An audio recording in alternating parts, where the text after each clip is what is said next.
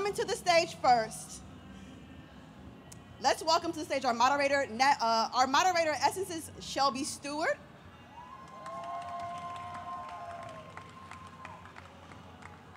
And comedian, radio, TV personality, and author of the new book Sideshow, Rickey Smiley.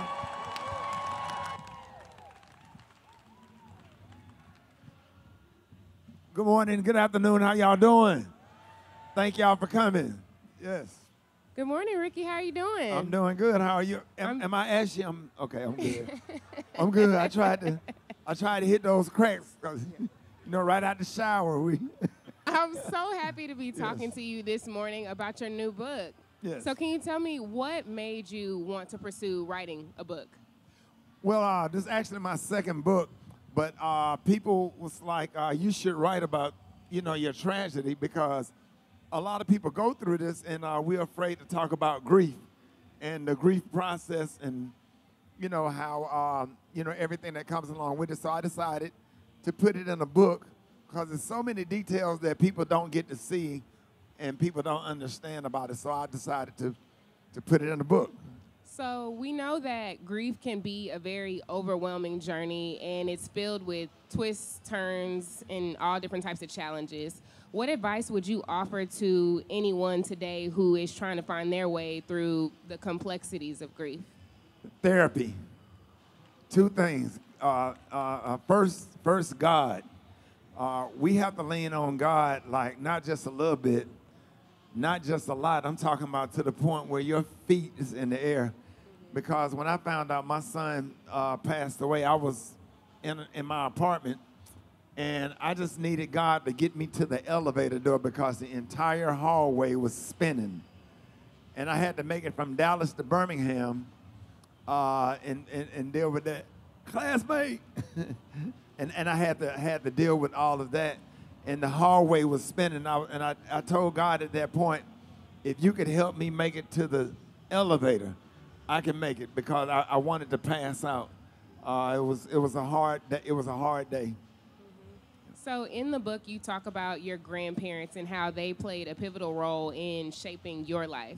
Um, can you talk a, little bit about that? Yeah, uh, I'm a product of grandparents, as y'all know.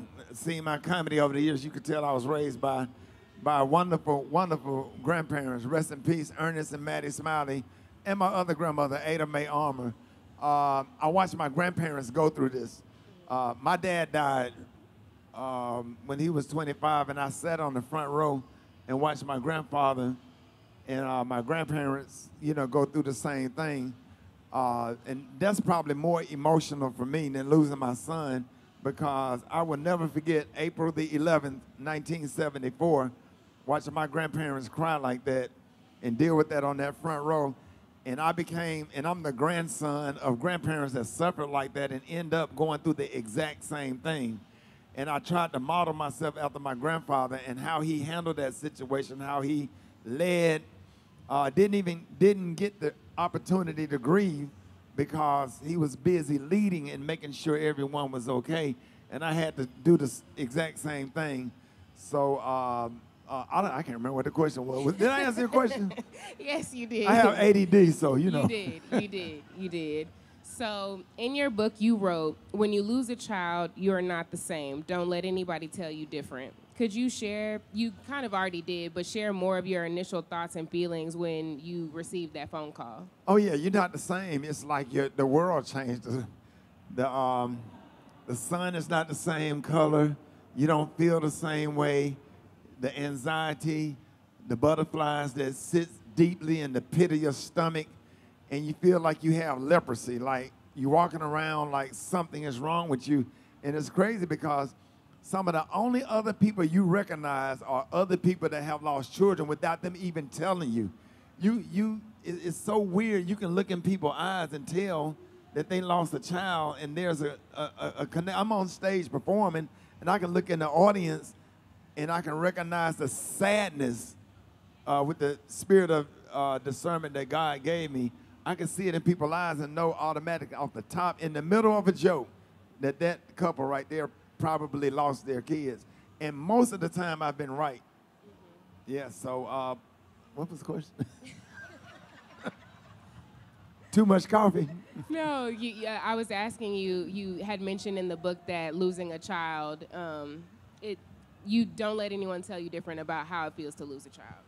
Oh yeah, it's difficult, and I wouldn't wish that on anyone. I hope and pray to God that no one has ever uh, ever went through that. It's a lot. Mm-hmm. It's a lot. So, uh, but that's why you have to lean all the way on God because, uh, you know, it, it, definitely Him. He will give you peace that surpasses all understanding.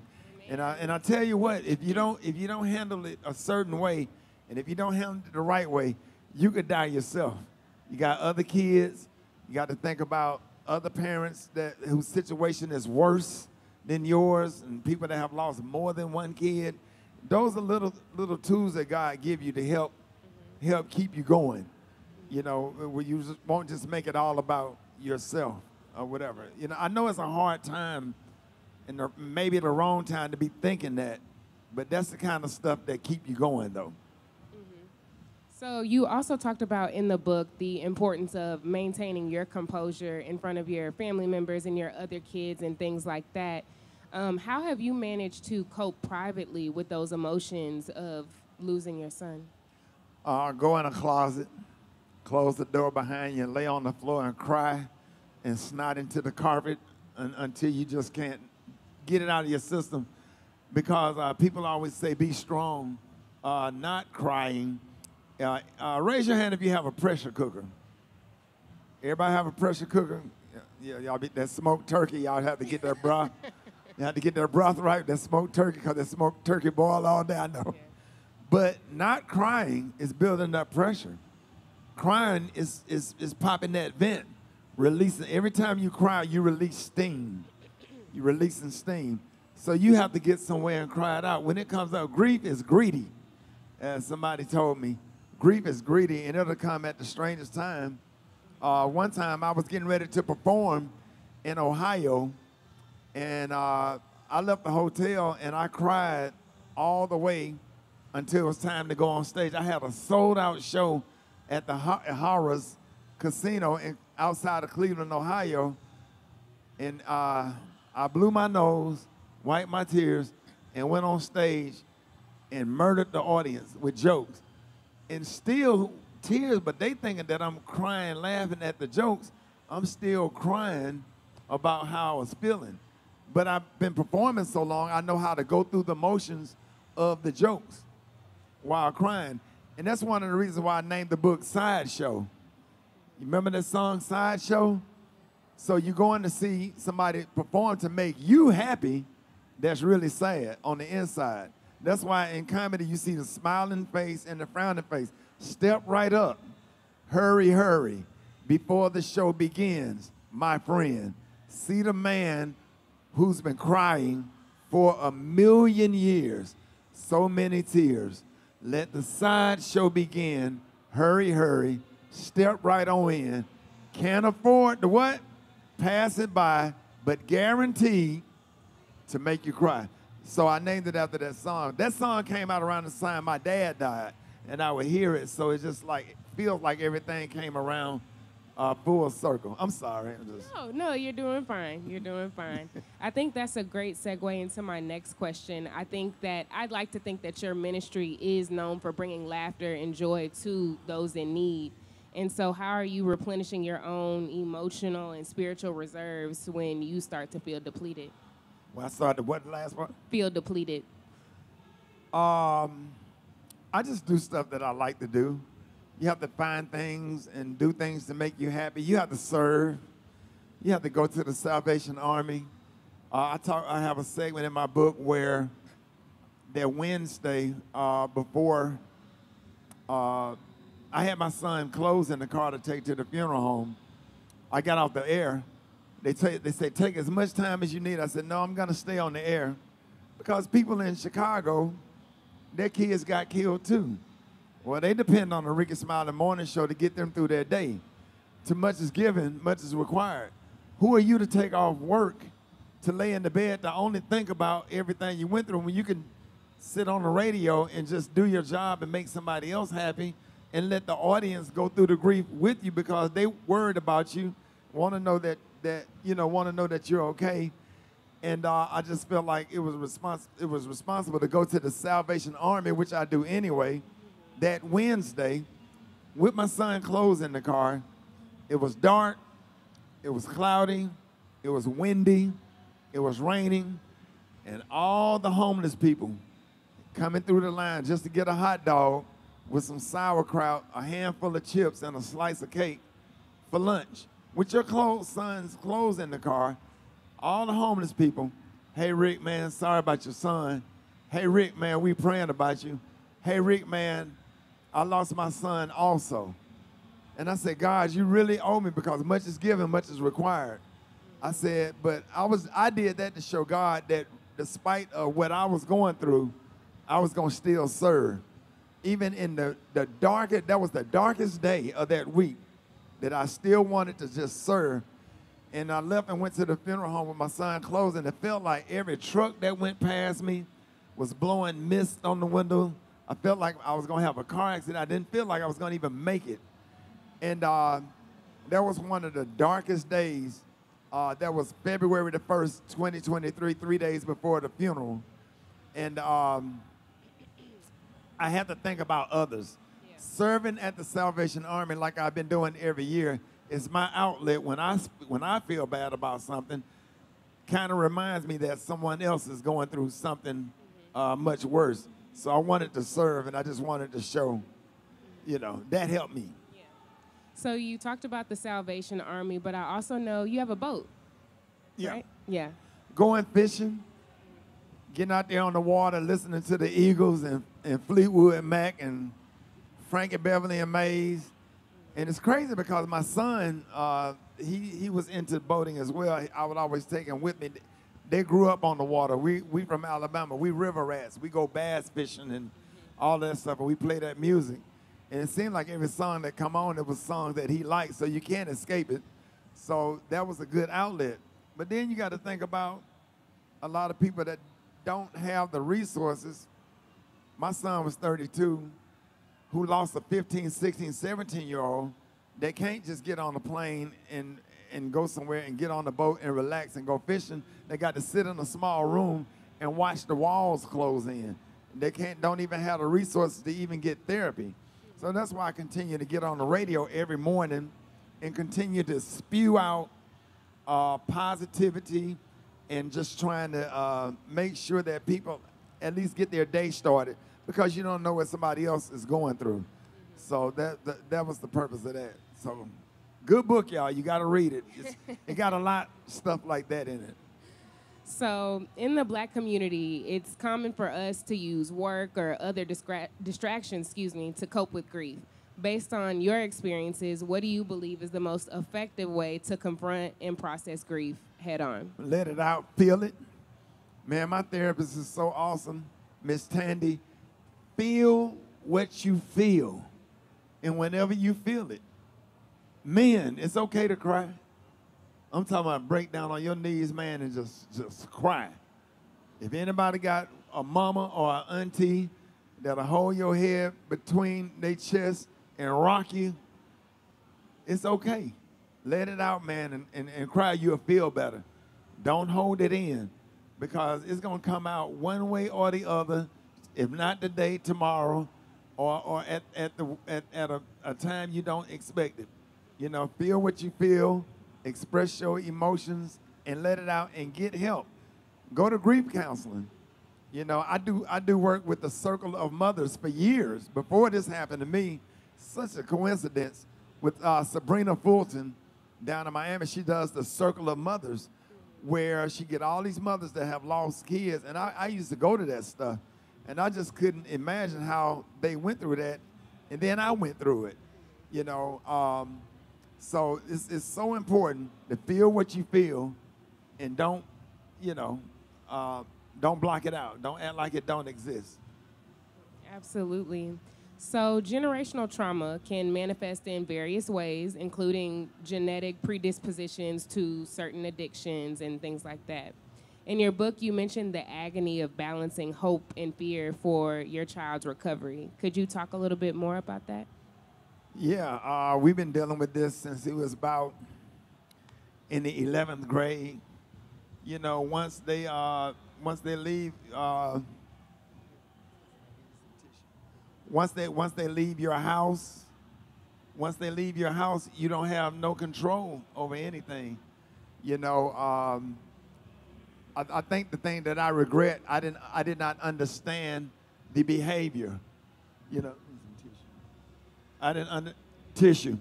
I didn't understand the behavior of my son, so there was a disconnect. So I had to set some boundaries with him because I could not allow him to have an effect on the rest of the kids that was buying into what I was teaching. He just, my son wanted to do his own thing, and it was just real. Um, it was just real, real, real tough for me and stuff. So, um, I, was it, did I answer it? Yes. Okay. Yes. Just making sure. Thank you. Okay, so life has often throws unexpected challenges our way, and it requires us to juggle multiple responsibilities at once.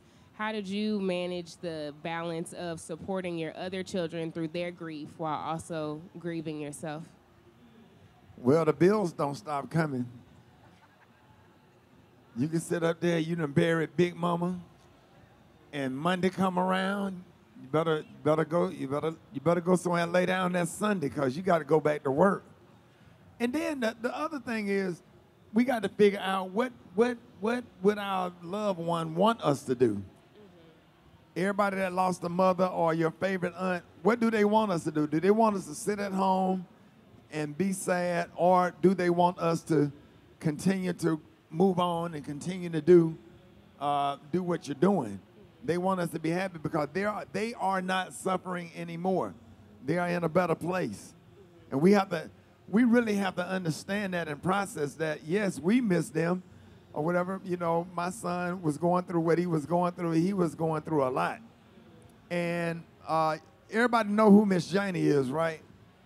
Everybody follow me on Facebook. Know Miss Janie. Miss Janie called me. Um, she called me over to her house one day because Miss Janie lost two sons. I had to walk her down the aisle at both of those funerals. And she sat me down and closed the door and she took the phone off the hook. And she got in my face and she said, Listen. She said, God came and took that boy. She said, You're going to have to let him go. She said, Do you understand me? I said, Yes, ma'am. She said, You're going to have to let him go. It's, you got to let him go. He's in a better place. He's not suffering anymore. And that was probably one of the first stages of me processing that that's what it was, you know. And uh, I received that and tried to un- understand that he was in a better place and um, try to move on and try to think about others that's suffering. Sometimes God allow us to go through something, especially if you have a platform, to use your platform to bless someone else who's get who's going through been through the same thing or getting ready to go through the same thing because everybody gonna deal with grief. This book is gonna help you whether you have grief or not but it's coming even if it's you it's coming because we're not meant to stay here on this earth so it's a good tool with some good scriptures in there that's going to help a lot of people so we know that grief is not a linear process. Where would you say you're at with your grief today? Uh, I think this, I was talking to my therapist yesterday. We were texting. I think I'm at a space where I just kind of blocked it out. You know, just kind of like I put it in a box and put it right there because I got to go on because I got I got a son and a daughter that's in grad school. I have grandkids. Um, fighting to see my only uh, biological granddaughter. I got nieces and nephews, and I have a mother. I have step grandparents. I just buried my step grandmother two weeks ago, who was there for me the whole time. She was 95. God bless her. But you got other stuff that you got to do. So sometimes you have to take that and put it right here. And when time permits, you could get back to it and deal with it later. And uh, sometimes the feelings come up, maybe at church, pastor singing something, maybe in the car, you know, or maybe just anywhere. But you know, but I'm doing good. I'm doing good. So I, I thank God for that because without Him, I wouldn't be where I am. Absolutely. So you brought up therapy as well, and we know therapy can be a valuable yet sometimes daunting process. So, what are some of the insights from your therapy experiences um, and some of the lessons that you've learned? The main, the main thing is, is, is not to feel guilty for setting boundaries. Uh, we had a distance.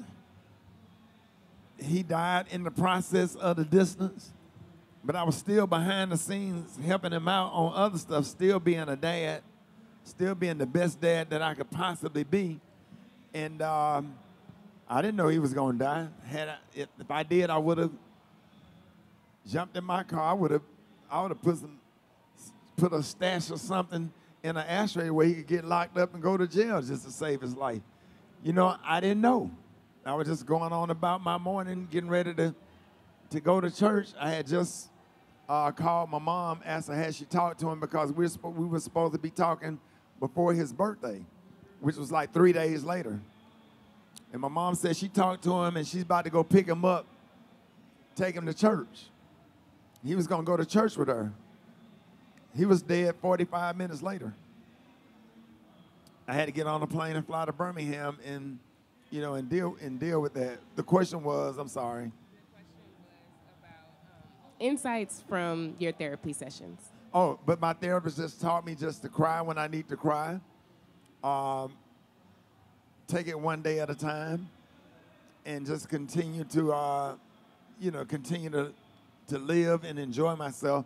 Do things that I like to do. Do things, you know, that that'll bring happiness to me because happiness and laughter is everything. So I go to now. I end up going to a lot of comedy shows instead of performing.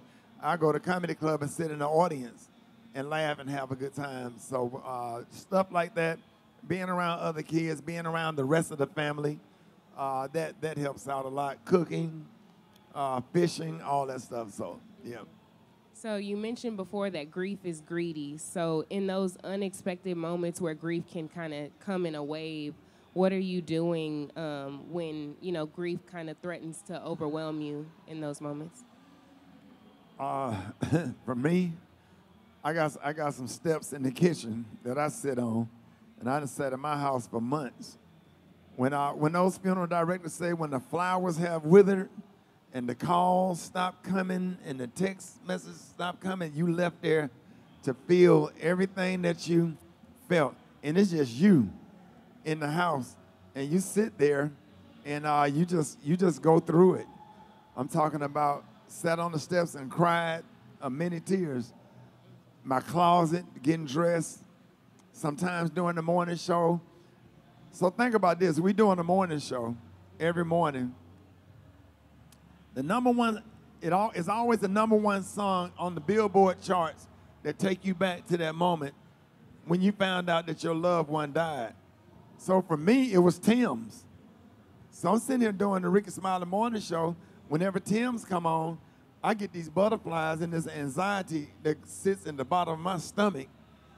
But we got to play the song because it's on the it's in the computer for us to play for the morning show. And sometimes you take your headphones off, sometimes you just sit there through it. Sometimes you come out of the song early if you feel like you can't take it. Hey, let's go to commercial. Just doing whatever you have you have to do. But um, it's, it's all it's all part of it. And so now we're you're over a year later. Um, so what are some what's your routine now? What are the self care practices? What are you doing to take care of your mental health? Uh, just remaining in therapy and just having a good time, mm-hmm. enjoying people, enjoying uh, surrounding yourself with love. Uh, I had 30 nieces and nephews and kids. They all came over the day before Father's Day with bags, and they all came in, surprised me, and spent the night. All 30. They, they was everywhere. they all came and spent the night. Uh, a lot of kids that I raised over the years, I, I raised a lot of kids that not biologically mine. A lot of kids didn't have nowhere to go, didn't have mothers, didn't have fathers. So for years and years, I poured resources into other children, making sure they had what they needed. And they all came and spent the night. That was a lot of fun. That brought a lot of joy. Uh, did a photo shoot. And uh, so just being around the kids make me happy. Absolutely. So, in chapter 13 of your book, you discuss the transformative power of changing your heart posture and embracing gratitude. Can you describe the moment or realization that made you understand the necessity of keeping your heart open and being gracious? Yeah, uh, you know, sometimes you kind of closed off. All of the condolences helped me out, even just walking through the airport, especially Atlanta. I just remember Atlanta airport, TSA agents coming around from their post to come and give me a hug. And some, a lot of women would just hug you. They would not say a word. Like, I just remember women with silver and black hair, them aunties, and they come and they wrap their arms around you and give you a hug and don't say a word. And I'm talking about it would it would literally make me cry because you felt all of it. You knew what that hug said, you knew what that hug meant, and it was just just just everything. That gave me a lot of thankfulness and a lot of gratitude. I had a lady uh, step outside the line. She said, I know what you're feeling. She said, My daughter was 13. My daughter died. I stepped out of line, and me and that lady hugged. We was at Atlanta Airport. We just hugged for about 10 minutes. And everybody in that line, it seemed like they knew what was going on and, and I could just look around, I could see it in everybody's face. Because you know, one thing about black folks, we wear it on our face. Mm-hmm. And they just had this, and I'm talking about people had their hand over their heart. They knew that that lady had been through something and that that lady was trying to comfort me while I was trying to comfort her as well because she lost her daughter a year prior to. So I found myself uh, comforting other people that have went through the same thing, you know. Uh, so that brings me a lot of gratitude so grateful for all the prayers, thousands and thousands of messages on social media. Um, just it's a lot of love out here, and, and I am grateful. Everybody that ever prayed for my family, I'm really grateful. And so, time for one last question. So, what is the most paramount thing that you want people to be able to take away from Sideshow? Uh, that you can get through it Hey, if I never knew God a day in my life, if I never, ever, ever knew God or felt God a day in my life, January the 29th, I did. Because when people start talking about those footprints in the sand, when you only saw one set, it was only one set. Because ain't no way I did, I was able to do that. God, like, really, really, really carried me through that. And then he gave me the wisdom and the knowledge to lead. He gave me the wisdom and the knowledge to make it not about me and to think about my son's mother and my, and my son's stepfather. I had to comfort them, having sensitivity from down to the obituary, to the, the, the videos, to everything, just making sure that everybody was comfortable, everybody had what they needed, and just put me in a position to just lead. Even though I was going through it myself, he said, You're going to get your day to cry, but right now, I need for you to stand up and, and lead because your family needs you. And took me all the way back to 1974, watching, seeing what my granddaddy did when my dad died. And uh, so it was, it was, it was something. It was something. But if nothing else, lean on God because God is real. God will get you through it. He is awesome. His grace, His mercy is sufficient. And I'm talking about He's an awesome God. Because I should be dead. I wanted to die. I, uh, there was moments where I wish I was dead than to feel those anxiety. I never felt butterflies like that, not even on a roller coaster. Deep down, I still get them. Deep down in the pits of your stomach. Those butterflies where you can't eat, you can't sleep, you can't think. He didn't take my appetite away. He didn't take my sleep away. Kept me enclosed in my right mind. And then he helped me through because through death, there's the insult to injury. See, y'all, that's something we don't talk about. The insult to the injury. It's like you already got a gun wound, a gunshot wound, and somebody come with a knife and stab you in that open hole. Whether it be co-workers, whether it be family members, somebody gonna come that's gonna be out of order, out of place, and for you to maintain your integrity, but God. That's it. Everybody give Rickey Smiley a round of applause.